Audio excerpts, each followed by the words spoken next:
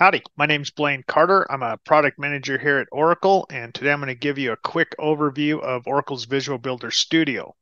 I'm going to cover some of the key functionalities provided by Oracle Visual Builder Studio, including an issue tracking system, agile dashboards for planning, development sprint execution and tracking, code version management and peer code review, build and test automation for various languages, and continuous deployment of artifacts to your environment. So we'll start out in the project view of Visual Builder Studio, and this is where you can find all the recent activity for your project, including all of the activities from our team members. And we can see right here that the last activity was an automated test that failed. So let's click into that build job, and over here you can find the test results. And if we drill down into there, we can see that the test failed because we got Howdy World and we were expecting Hello World. We'll cover how to fix this issue in just a minute, but before we do that, uh, let's take a look at another part of our testing capabilities, which includes detecting vulnerabilities in third-party libraries. Our dependency analyzer can review the libraries that are being used in your project and identify any of the libraries that have known vulnerabilities. So over here, we can see the libraries that have issues and we can drill down in to see the actual uh, report, uh, the actual issue that was reported in the National Vulnerability Database. So we're going to fix the vulnerabilities at another time, but for now, we're just going to focus on fixing the failed test message. So let's document this issue in our issue tracking system.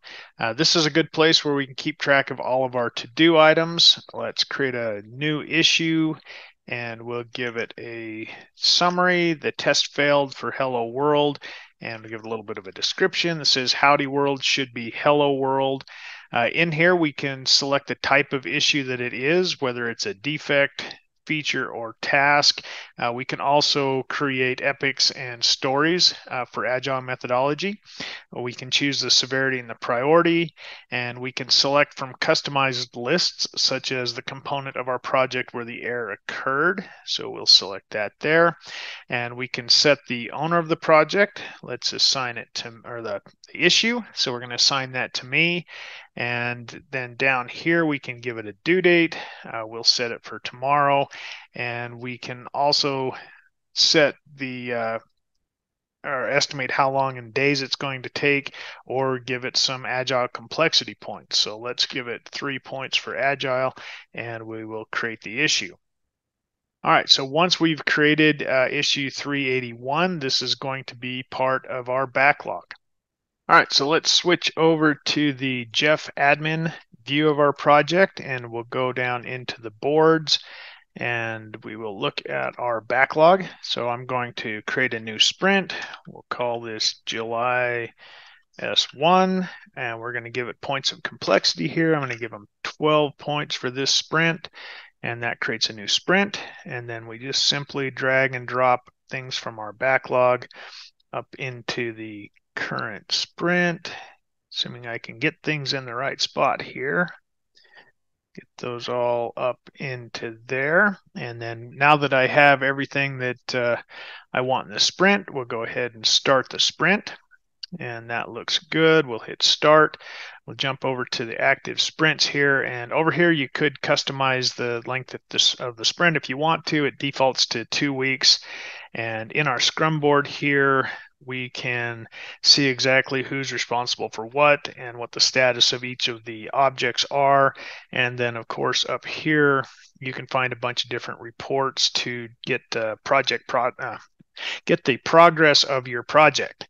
All right, so now let's switch back over to the developer view. As the developer for the project, I'm going to jump up into my project home and look at the activity stream. I'm going to see the same activity stream as a developer as the project manager would uh, in the project manager view. And there is at the top here, you can see there's a defect that's been assigned to me. There's a couple different ways I'll find out about defects. Uh, I can receive an email. I can see it pop up here in the activity stream, or I can go down into issues and look at the issues that have been assigned assigned to me. So once there's been an issue assigned to me, I can open that issue up. And in here, I can uh, read all of the different details about the issue. I can update anything that needs to be updated, uh, put on comments, uh, any pretty much any attachments, anything that needs to be done to complete this issue. I'm going to switch over to my Git repository. So this is a private Git repository that holds all of my source code. And in here, I want to make a fix. So I'm going to create a new branch and I'm going to call it uh, issue 381 and I will hit create. So now that I have my new branch, I'm going to search the code for the problem. So I'm looking for the word howdy because we just need to change howdy to hello. And I'll find the file where the issue is right here. We can see that the, the greeting has been set to howdy. Now I could, of course, clone this down to my laptop and do my work over there in my favorite IDE, but this is such a simple fix. I'm just going to use the edit button here to change howdy to be hello. And once that's done, I'm going to hit commit and I will uh, create the, uh, so this is a fix for issue 381 and I changed howdy to hello. Okay, that's a good uh, commit message. Now that I've created a new branch with my fix in it, I want to get that branch merged into the main branch. So a couple different ways I could do that. I could go into merge requests and create a new merge request here, or I can go into the issue that I'm resolving and create a merge request from here. So I go in here, I select the repository. I want to merge into the master from issue 381. That was my new branch. I'm going to hit uh, create and that will create my new merge request. And then I can get to the merge request from the issue clicking here and you can see that it has all the information that I need for it over here. I can look at the commits that are included. I can see the file that was changed since I created this from the issue itself, it automatically linked the issue. And so now I want to manage my reviewers and I want to ask Jeff admin to come and review this merge request for me.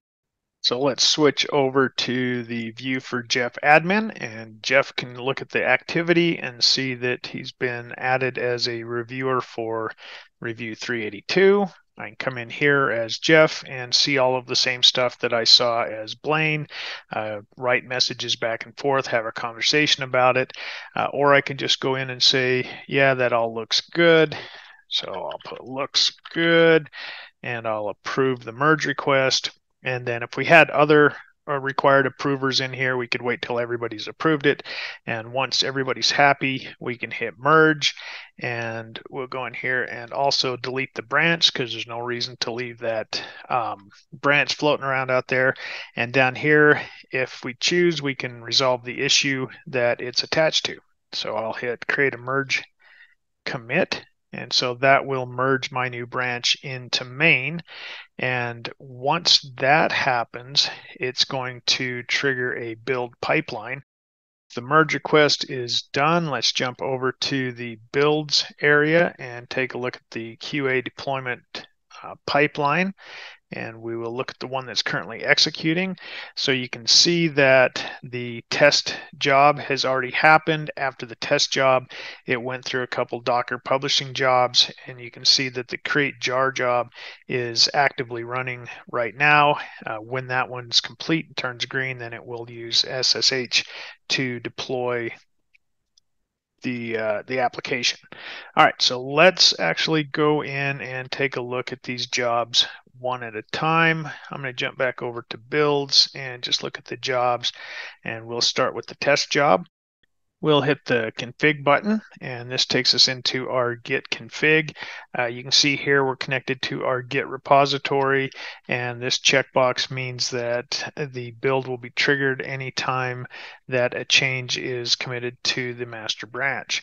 In our before build step is where we would turn on the dependency vulnerability analyzer uh, that we were looking at before. I have that disabled since I haven't actually fixed that yet.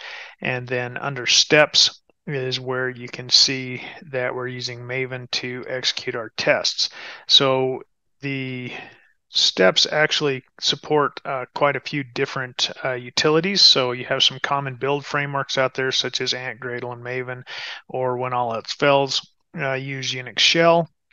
There are other utilities here. For example, you can uh, run SQL files or SQL commands with SQLcl. You've got command line interface for the Oracle Cloud, uh, Node.js functionality uh, using a bunch of different uh, features from the FN project, all kinds of Docker commands. Uh, if you want to work with uh, Oracle Visual Applications, Visual Builder, you can do application extensions and visual extension commands here. So lots and lots of options that are available for your build steps.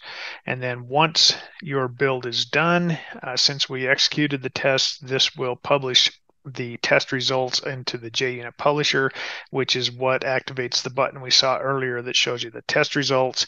And then here we will artifact or archive all of the artifacts found in this build job. Uh, I like to I like to collect all of my files in my first job in my pipeline and then use those files uh, from that job rather than going back to Git every time just so I can avoid uh, the situation where somebody might push uh, another commit to Git while my pipeline's running. Let's jump back over to the pipeline and open that back up and view the layout. And so the two uh, Docker jobs are very similar. So let's just go into this one. Uh, no git here because I am using the before build to pull from the the test job so that all my my files I'm working with stay the same. Uh, there's a Docker login, a Docker build, and a Docker push. Um, both of these jobs are basically the same. Let's go back there so I won't pull that one up. It's the same type of a thing. Uh, we'll jump into the create jar job. Uh, you can see in here uh, we're copying the artifacts and then we're running the uh, Maven package step that will package up the job, build that jar file, and then we archive that jar file. And then finally, uh, let's look at the SSH deploy job. And in here, uh, we're copying over the artifacts. And down here, we're configuring our SSH. And then in the steps, we will execute a few shell commands, and then that is how the jobs all work. Now that our pipeline is finished, we can switch back over to the project home where we can see the full development process from one central location inside of Visual Builder Studio. Uh, we can look at our recent activities and see the full development flow from where our test failed uh, and we identified what was wrong there. Uh, we reported the issue in our issue reporting system. The issue was picked up by one of our developers where the code was branched, created a fix, uh, ran the changes through the code review process where the change was approved and then merged into the master branch, which triggered the uh, the pipeline. And then the code was tested and published to multiple repositories, then packaged up and deployed. And now that the issue gone through all of that, it has been resolved, and we can jump over to our boards and look at the active sprint and you can see that it, through all of that, the issue has been moved over to the completed section. Uh, so this has been a demonstration of the full, completely integrated development experience of Oracle's Visual Builder Studio. I hope you found this useful, and thank you for spending your time with me.